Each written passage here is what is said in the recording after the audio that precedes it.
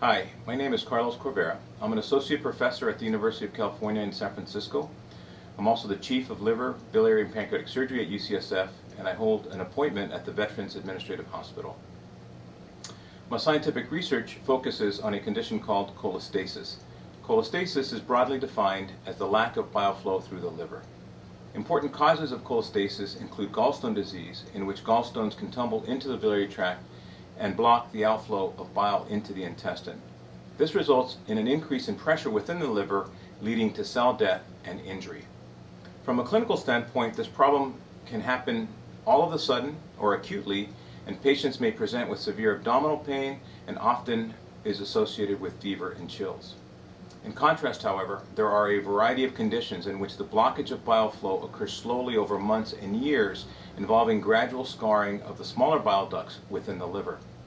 In contrast to the acute cholestasis situation, these patients tend to present clinically without any pain, and it is often referred to as painless jaundice, or with debilitating symptoms of profound itching, which is called pruritus.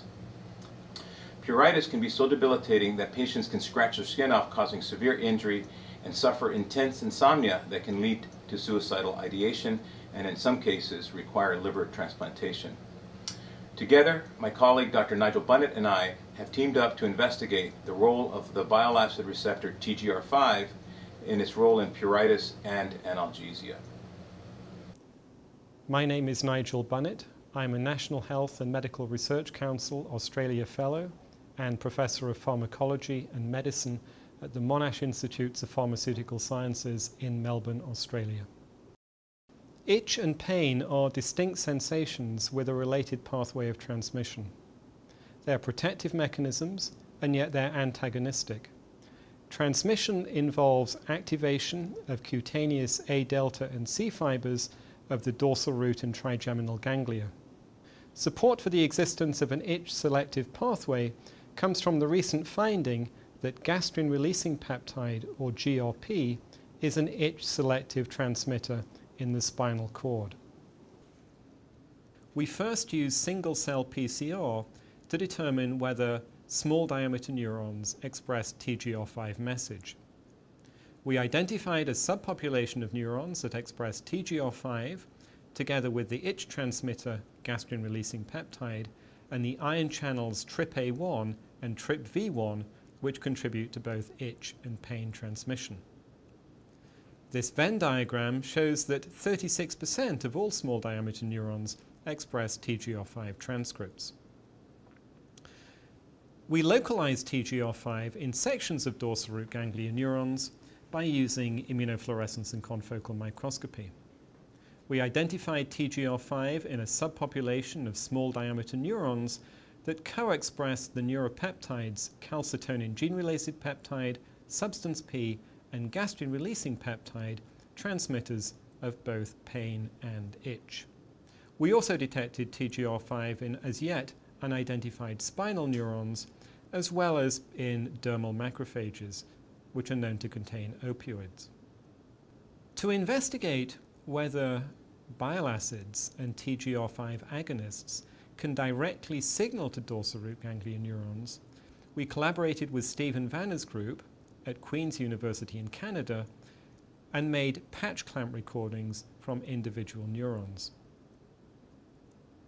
We observed that deoxycholic acid, a bile acid that activates TGR5, caused an increased excitability of neurons from wild-type animals, illustrated by the decreased base and increased frequency of action potential discharge at a current of twice base. This hyperexcitability was not observed in neurons from TGR5 knockout animals. Oleanolic acid is a TGR5 selective agonist identified in extracts of leaves from the European olive tree. Oleanolic acid like DCA, also caused an increase in excitability of dorsal root ganglion neurons and stimulated discharge of spontaneous action potentials from these neurons. To evaluate whether bile acids and TGR5 agonists can promote the release of neuropeptides in the spinal cord that are known to transmit both itch and analgesia, we collaborated with Pierangelo Geppetti at the University of Florence. We measured the release of gastrin-releasing peptide and enkephalins from superfused segments of rat spinal cord.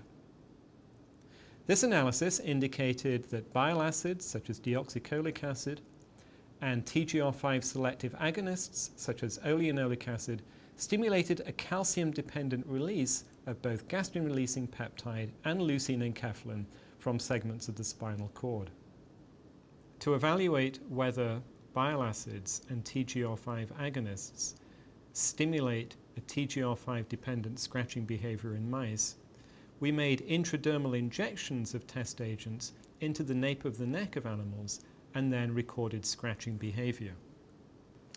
We observed that the bile acids, deoxycholic acid, taurolithocholic acid, as well as the TGR5 selective agonist oleanolic acid, stimulated a robust scratching response in wild-type animals that was markedly diminished in knockout animals and yet enhanced in TGR5 transgenic mice. Remarkably, TGR5 transgenic animals also exhibited a spontaneous pruritus, suggesting that TGR5 overexpression per se is enough to, to drive scratching behavior. The effects of bile acids on scratching in wild-type animals were strongly inhibited by antagonism of both GRP and opioid receptors. To evaluate the role of TGR5 in analgesia, we injected bile acids or TGR5 agonists either into the paw or intrathecally of mice, and then measured paw withdrawal to stimulation of the plantar surface with calibrated von Frey filaments. We observed that TGR5 agonists caused a robust analgesic response where they were injected into the paw or intrathecally. This analgesic response required expression of TGR5, and bile acid evoked analgesia was prevented by antagonism of opioid receptors. Bile acids in the skin may activate TGR5 expressed by nerve fibers originating from the dorsal root ganglia.